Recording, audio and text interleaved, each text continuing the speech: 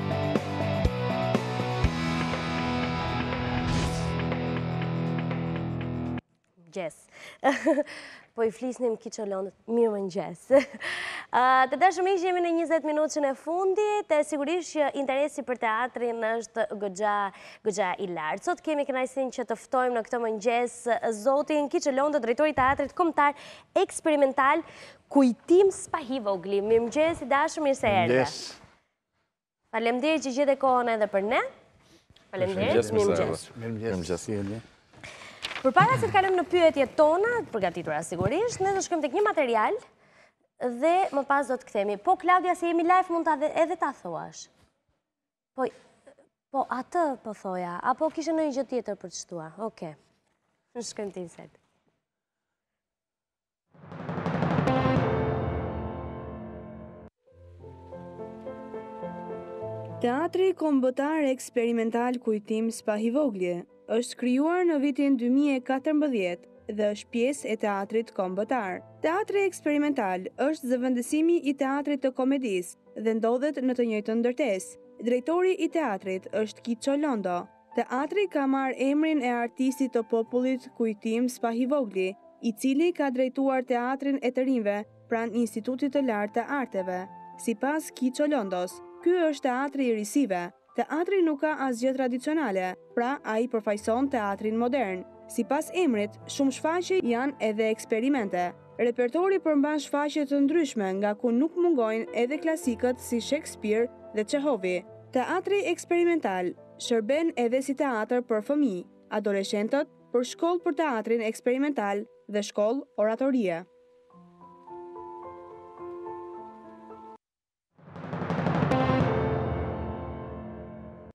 Zoti Londo, jemi të gjithë kuriozë se si ka filluar një herë pyetja e parë sezoni në teatrin eksperimental. Po, kemi më shumë se tre javë që kemi filluar.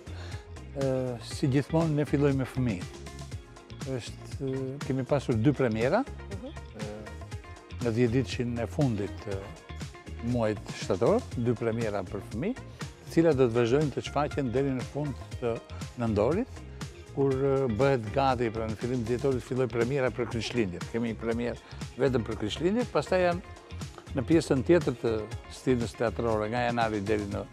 fund të qershorit, janë katër çfaqje të tjera për fëmijë.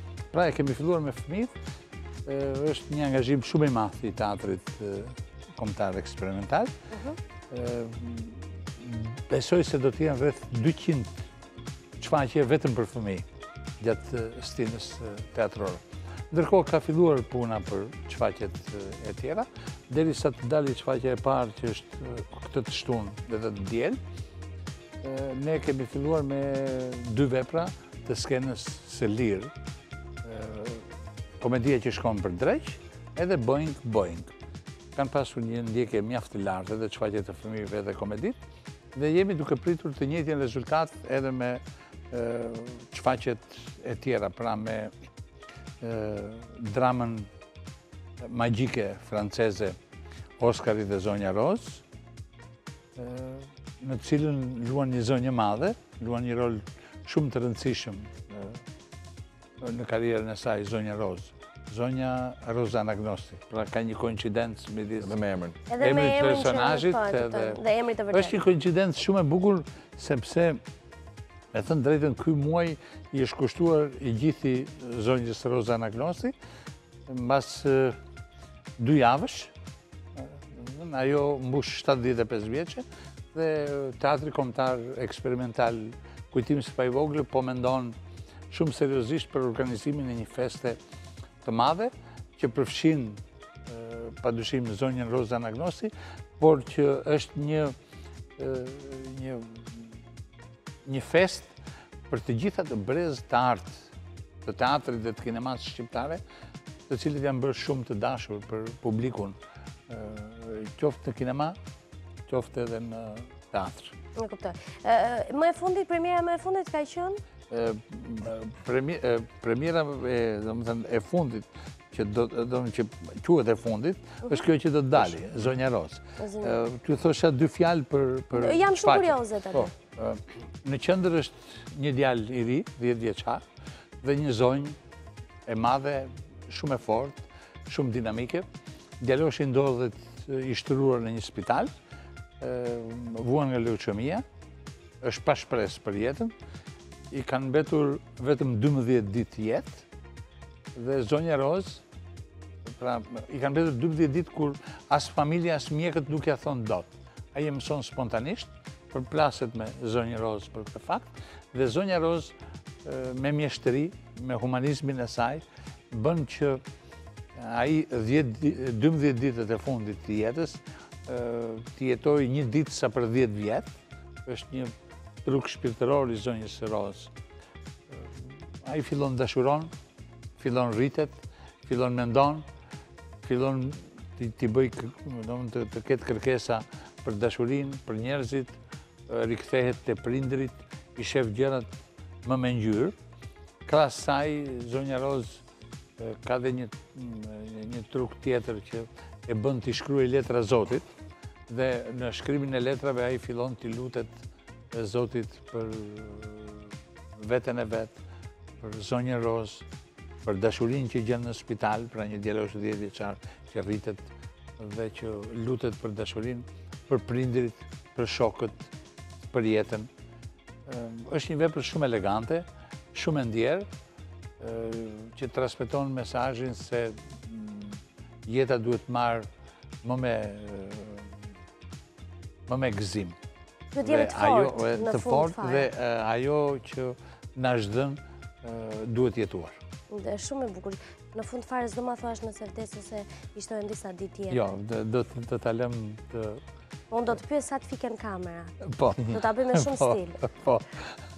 Të flasim pak Kiço për sa i përket festivalit më të fundit, ku ju keni marrë jashtëzakonisht shumë çmime. Unë të falënderoj për pyetjen.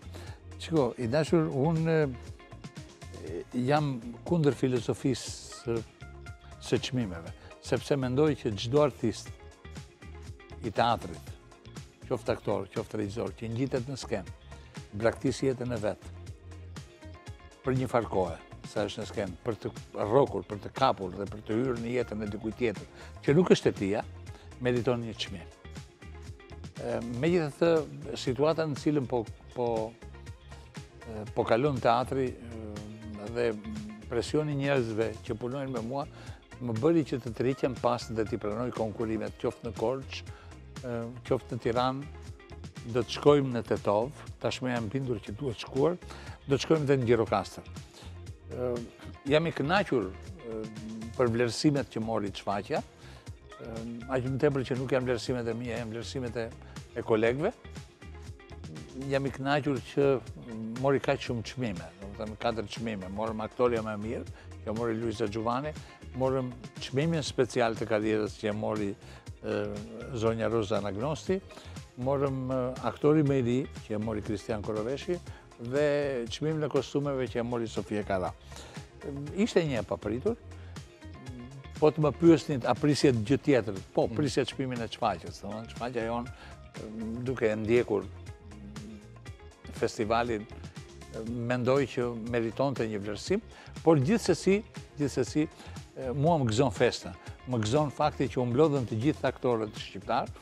Unë gjej rastin t'i përgëzoj organizatorët. Mund të shoh vërejtje, domethënë në mënyrën e organizimit, përbërjen e jurisë e gjëra të tjera, por këto janë gjëra që janë subjektive, janë të miat. Në përgjithësi, kam vetëm duartrokitje për organizimin e këtij festivali. Do t'i ndash me ne gjërat e tua? Si? Do t'i ndash me ne dhe publikun gjërat e tua, që pavarësisht se janë subjektive? Shiko. Ti mund të shprehesh... Mundet në... Na kanë gënjyer që jetojmë në demokraci dhe është mendimi i lirë. Ti si mendon, ndaj me ne? Shiko. Shiko. në situatë, nëse do ishte një situatë më normale për teatrin, jam i gatshëm t'i ndaj gjërat me ju. Teatri shqiptar është duke mbajtur frymën për shkak të një konflikti për godinën. Do të pyesim dhe nuk do të, po, jam i gatshëm të, të flas edhe për këtë gjë. Dhe nuk do të nuk do të dëshiroja që kësaj situate kaotike t'i shtoja edhe edhe gjërat gjërat e mia.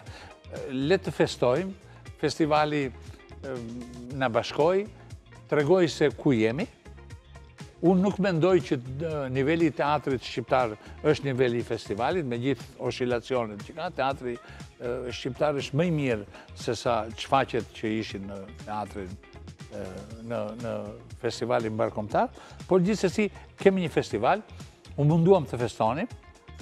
Mendoj që vitin tjetër duhet të festojmë prapë dhe të gjitha këto takimet, më tepër se sa takime ku ndahen çmime, duhet të jenë takime feste, takime ku ne duhet të flasim me njëri-tjetrin artistët për problemet që po kalon teatri dhe që ka teatri, dhe ne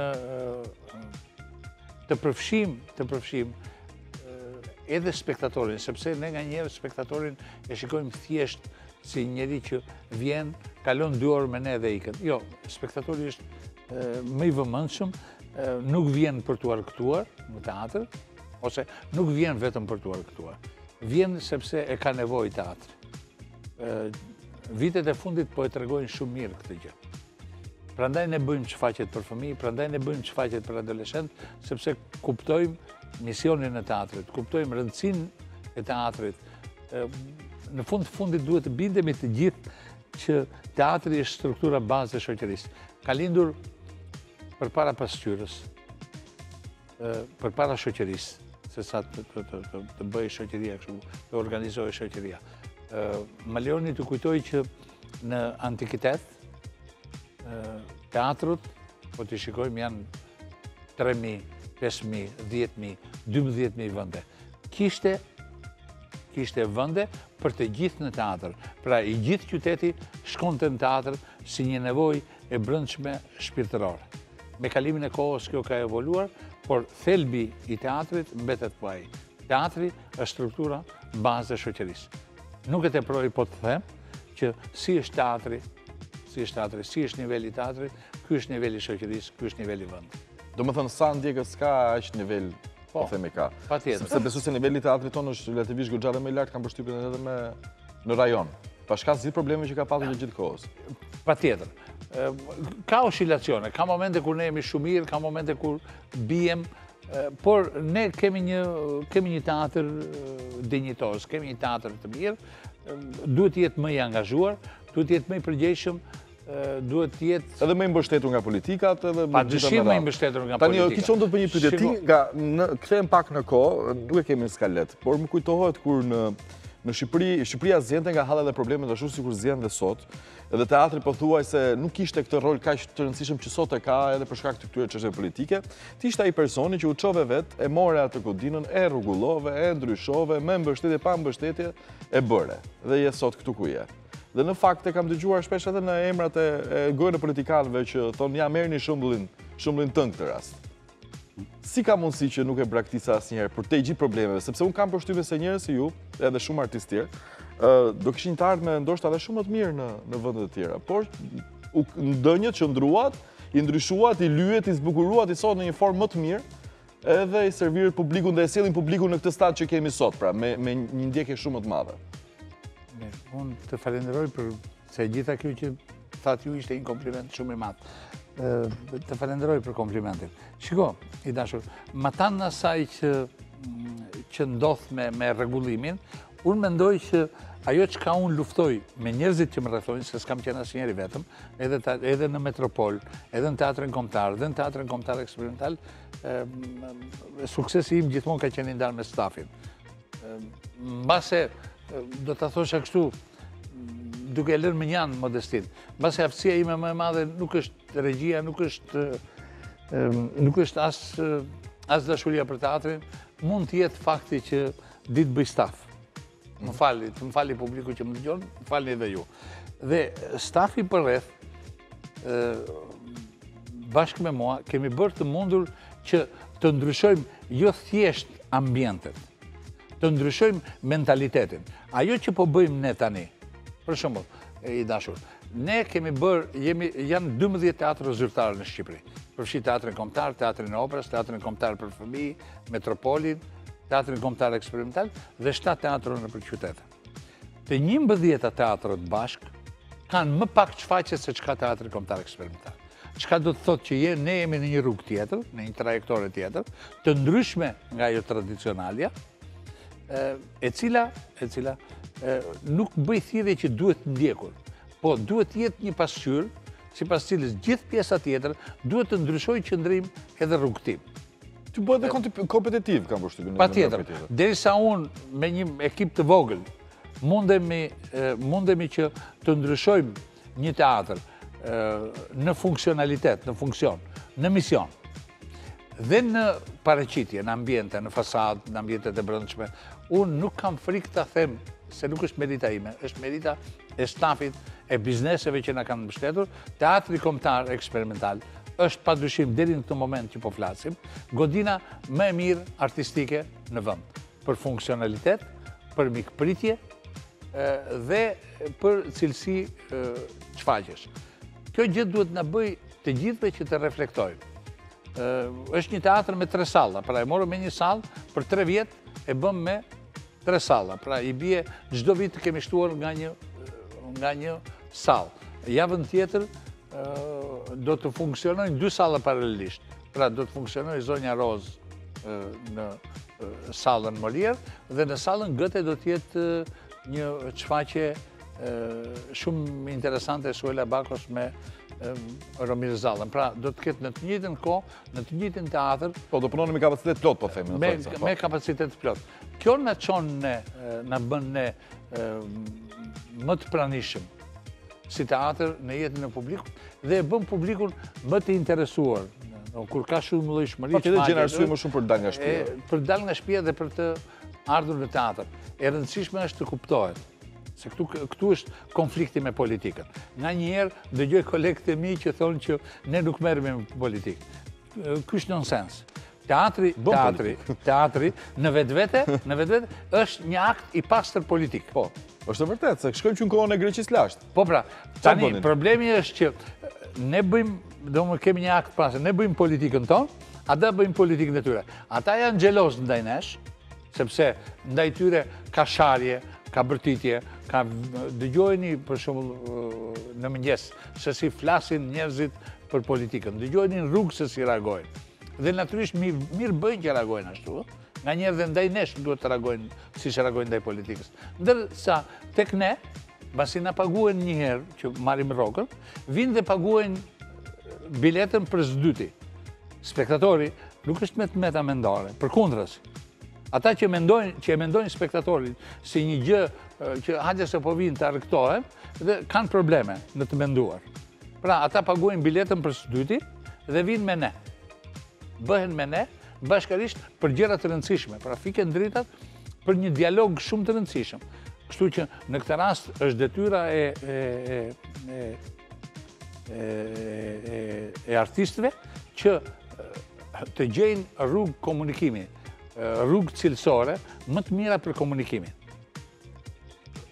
Politikanët e zgjuar, duke qenë që publiku, pra edhe ata që janë në shërbim të publikut, dhe që mbahen nga taksat e publikut, kur e shikojnë që publiku jep dy herë financa për të shkuar në teatër, duhet të tregohen të vëmendshëm ndaj këtij, ndaj këtij raporti, ndaj këtij komunikimi, dhe të shtojnë edhe ata financat. Absolutisht. Në vendet e mençura, në vendet e mençura, në vendet e civilizuara, kjo është ajo që ndodh. Ndërsa te ne, Janë ndarë në mes. Fillon merr një politikan, thotë, të fut krahun ty dhe thotë që shiko ti je që kjo gjithë mos jetë. Pastaj ky tjetri thotë shiko ti je kundra Kiço Londos. Pastaj Kiço Londoja është kundra një artisti po, tjetër. Po, përça dhe sundo. Dhe ajo që, po nuk, shiko kjo është, kjo përça dhe sundo se më ka shkaktuar i gjithë ky problemi nuk e di nëse... A të do jemi, pyetja e fundit sepse jemi në minutat e po, fundit. Po, që të qëndë në fund. Jemi ndarë në dy grupe.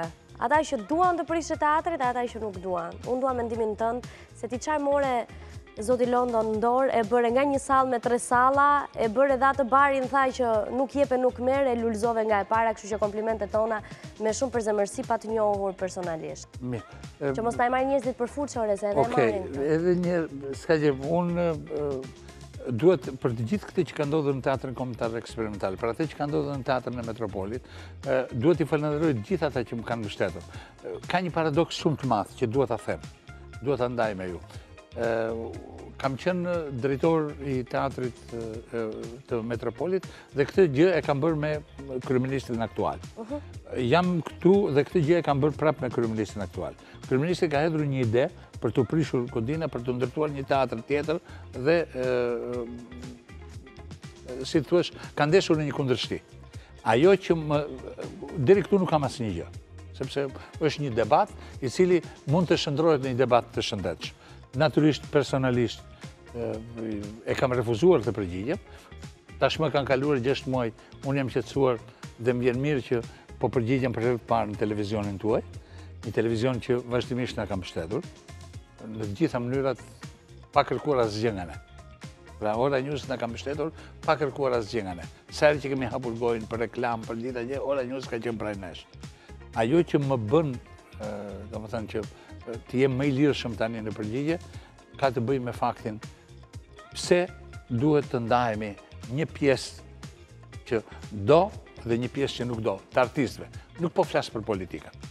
Politika ka punët e veta, të artistëve.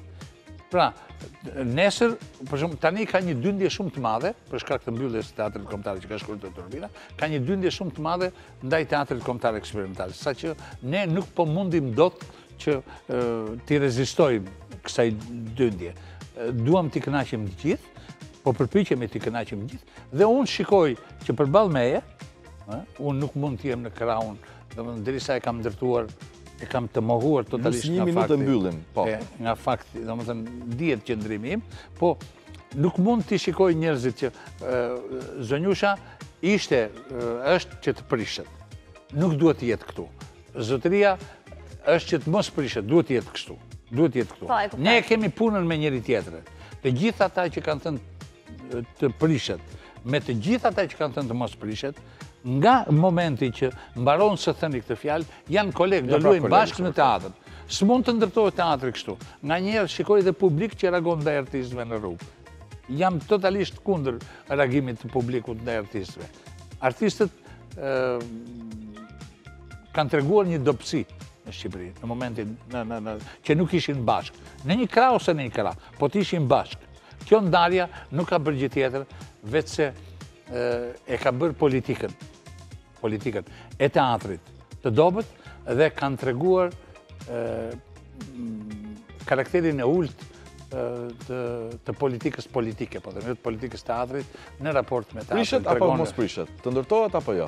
Të bëhet një teatr i ri, shumë i mirë, diku tjetër... Jo aty. Jo aty. Ka kujtime, okay. Zoti Londo, aty. Zoti Londo, na kënaqe. Na kënaqe, faleminderit vërtet shumë. Suksese për punën tënde, na prit në teatër. Të dashur miq, bëjeni edhe ju. Shkoni në teatër, kalofshi mirë tung.